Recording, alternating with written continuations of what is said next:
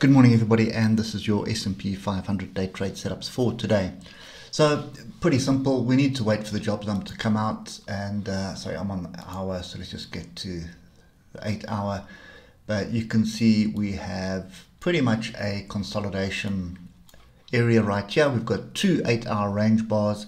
Uh, we've got a pin bar, and we've got the oscillators grouping to the downside quite nicely at the moment. So I'm looking for value, and uh, the value should come after the data has come out. So if you look at the three hour, you'll see we do have uh, one or two levels to the downside. And I've had to rebuild all my trading stations, so still trying to find all my my setups at the moment. So bear with me for a sec.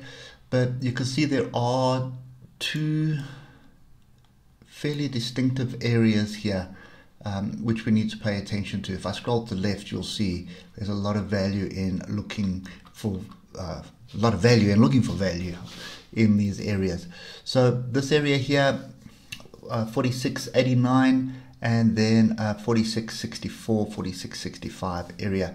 That's kind of the, the view that I've got at the moment. Don't think much is going to happen this morning though.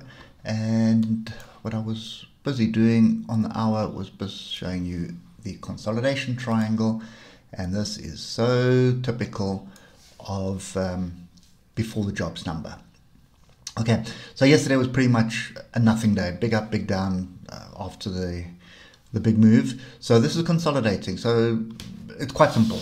Bad jobs number, we're going to fall a bit further, get us a better value to get into this.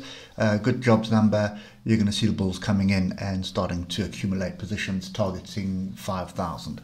So I think 5,000 is definitely the first target at the moment. Um, I don't think we're going to have any falling just yet, not until sort of uh, June timeframe, because I think that's pretty much when the first uh, rate hike is scheduled for. So that's kind of my view at the moment. Sit on hands uh, as it was yesterday, and let's just wait and see what happens with the data. And bear in mind, when the data comes out, don't try to trade that noise because it should spike um, and then come back to some kind of uh, a level before getting you an opportunity to get into it. And that would be either way, uh, whether it's the long side or the short side. So, yeah, that's kind of my view at the moment. Um, going to be interesting. I think this is what we've been waiting for. And uh, next week should be at least trading or back to normal where we can actually trade this thing rather than trying to uh, toss a coin and guess what direction we're falling in.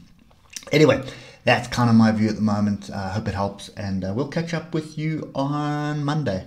Uh, cheers for now.